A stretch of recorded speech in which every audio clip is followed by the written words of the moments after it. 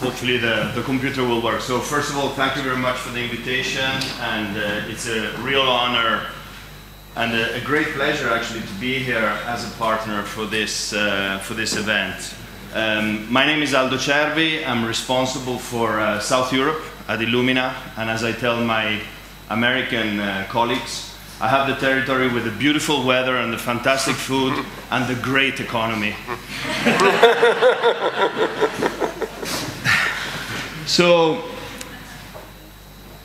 happy, happy birthday. and, uh, you know, my question is, uh, you're almost a teenager now. And uh, for, we've, we've, all, we've all been teenagers and uh, and actually, some of us have the unfortunate luck of having teenagers in our family, so good luck for the next 10 years. and this comes from another teenager, because Illumina, just one slide to, to introduce a little bit who we are for those who don't know us. Well, we, we were born in 98, so we, we are also a, a teenager, maybe a global teenager now. Uh, we have about 2,000 employees, a revenue of just over $1 billion.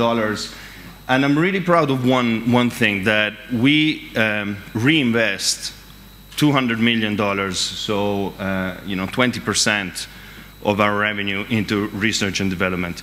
And the other thing I'm really proud of is a lot of this research and development is in Europe. It's near Cambridge, and it's, uh, it's rare these days, but I think it's something that we should all aspire to.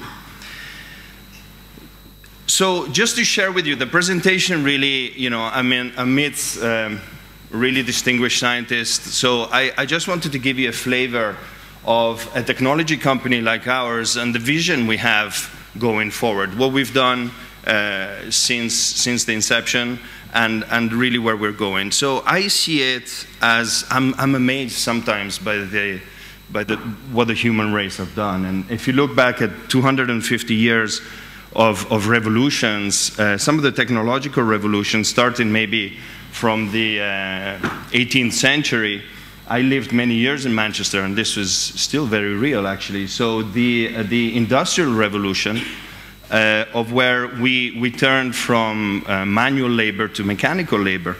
And, and we know what effect that had. And about 200 years later, maybe after the Second World War, we started talking about the digital revolution. So trying to automate maybe some of our mental repetitive uh, jobs into, into something uh, that is astounding. You know, we know what effect the, the, the computer has had on us and um, and I see also a third revolution now that is what I call the biological revolution that uh, I think we could, we could say probably started around 2003.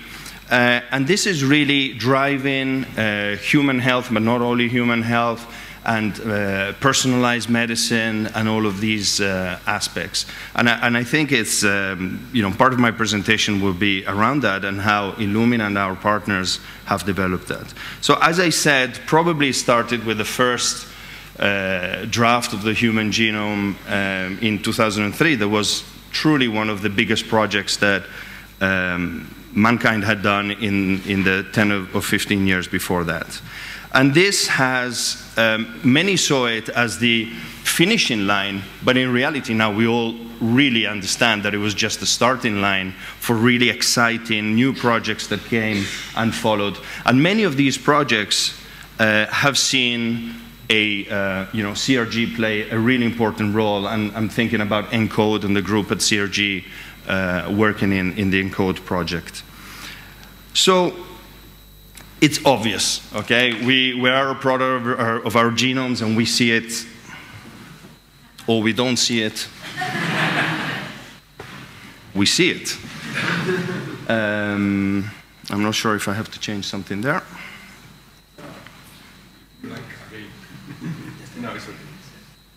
This is the competition trying to cut me. So uh, we, we are the product of our genomes, is visible, but what I'm, what I'm also I think it's gone back to the slow mode.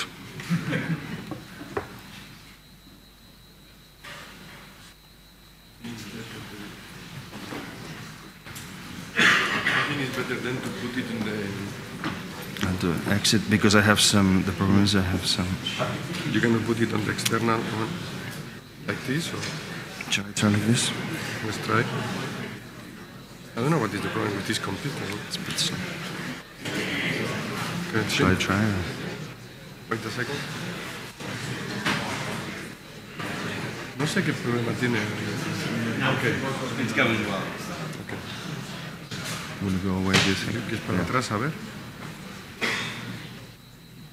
Ok, ahora va bien. We'll try. So what, what is obvious is also that is, is the incredible effect that our environment has on us as well. And, you know, not only what, what you know, where we eat, where, where we live or whatever, but there are amazing advances also in, in things like metagenomics and the, the microbiome. So what is outside, but also other organisms that are inside and have uh, an enormous effect. And, and a lot of this is obviously genetic.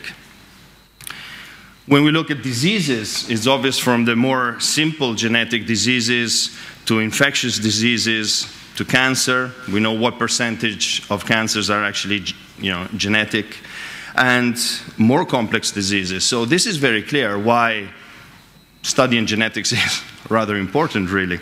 And many, many companies, uh, you know, we, we heard from, uh, from our colleagues at San- Sanofi, but many companies make it a mission to improve human condition, okay? And this can be interpreted in many, many different ways.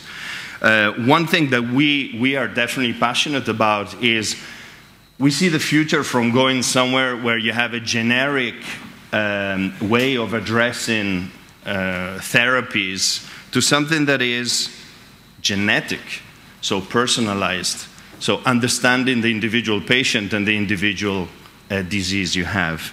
So this is probably what is driving a lot of companies like Illumina. But you know, we have a tendency always of concentrating on what is human, okay? And a lot of the funding goes on that. But in reality, uh, Illumina, for example, we, we really look carefully at other opportunities, for example, in the forensic, in the biopharma, in the agriculture and veterinary, and all of these are amazing opportunities of growth.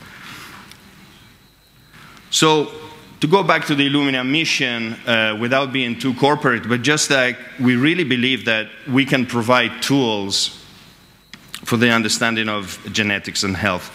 And really, we see it from pure discovery and whole genome to something that is the validation, and why not the diagnostic clinical approach going forward, and why not even further prognostic and not just the diagnostic. And we just do this, there's no one technology that will work for everything.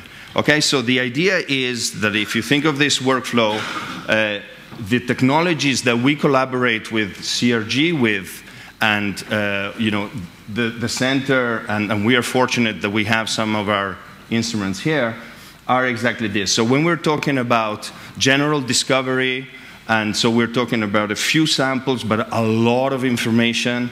Uh, the, the instrument that is next doors uh, is on next generation sequencing and sequencing by synthesis. So we talk about this technology.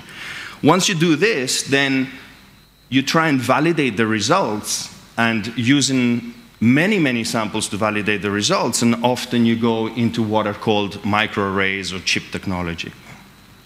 Then this information can be passed on to what is really exciting now, that is targeting on just some targets, some genes of your interest, and this is where, for example, the clinical space and the diagnostic space is really moving. And there it's essential to have technology, and we're developing technology that is accessible. Accessible in price, accessible in terms of know-how, in terms of removing the bottlenecks, because sample preparation and data analysis have maybe slowed the implementation of some of these technologies. So, for example, the MiSeq is just a, uh, a benchtop um, solution that we just launched about a year ago. And of course, in the routine diagnostic labs, there are other technologies like real-time PCR that most of the labs here will have just to look at you know, smaller, uh, smaller targets. So uh, I thought it would be maybe interesting with you to share what the community is using, for example, Illumina technology for. And this is just uh, some of the over 2,000 publications that uh, some of the scientists have produced with our technology. And what I find interesting is not just about DNA sequencing. Okay, uh, the structural and the functional aspects uh, of of the studies are really important, and we see a very, very growth also on RNA sequencing. But this is the situation today. How do we see investments in the next two years? So this is an outside source uh, indicating where the money will be pumped into, into uh, in the field of genetic analysis in the next two years. And what we will see is really that next generation sequencing will represent probably around 50% of, uh, of the spend uh, by 2014.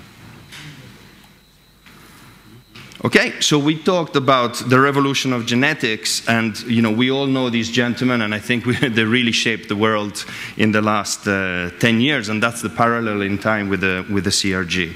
Uh, what we need to put in context is the cost that the Human Genome Project had, not only in terms of time, so you know more than 10 years, and possibly over $2 billion to discover you know, to, to, to really produce the, the first human uh, genome draft. It, it, was a fantastic, fantastic achievement. Let's put it in context with the technology today, just 10 years on. To achieve this, centers had uh, many capillary electrophoresis, so a technology using Sanger sequencing. Uh, I was also UK manager, and, and we have distinguished uh, scientists from the Sanger Center. They had about 100 of these instruments about 500,000 uh, euros each. Now we launched some desktop devices and the instrument that is next doors, the HiSeq 2000. Have you ever thought about the parallel of how many of one instrument or how many of the old technology you need to, you know, the parallel between the two technologies? I think the numbers are staggering. In 10 years, having one instrument next doors is the equivalent of having 60,000 instruments, 60,000 instruments just 10 years ago in the big centers. And I find that really staggering in terms of technology. And what the other, the other aspect is that the continuous decrease in cost per data point is allowing fantastic research to happen. Because we couldn't go on with a $2.3 billion cost for a human genome. Okay? And these are just some, uh, some indications with the Sanger sequencing back in 2002, 2003, per uh, megabase of, of DNA sequenced. We were talking about, let's say, around $5,000. With our desktop solutions that were launched uh, a year ago, uh, we're looking at uh, just over a dollar, two dollars. And with a large instrument you have next doors, we're looking at, uh, uh I don't know, 100,000 times less or something is the cost. So that enables fantastic science to happen. And, and I'll just repeat the, the slide we, we saw before. So this was just a, a general thing. Some some people call us the apple of genomics, and I honestly, it, it, does embarrass me quite a lot, and I just wish we were as good as, Apple's, uh, as Apple for many things.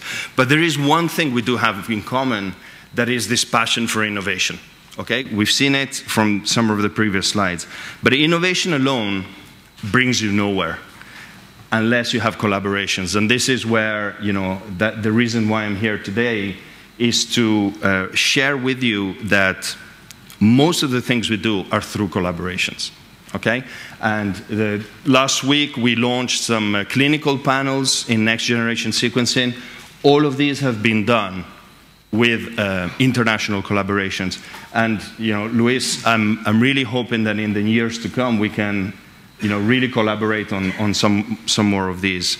There are other collaborations Illumina do, for example, again in next generation sequencing in HIV genotyping with uh, Siemens. This, I, I think, is fantastic. So this is a, our, our technology now is used for non-invasive testing of trisomies. So it means no more amniocentesis, no more villocentesis.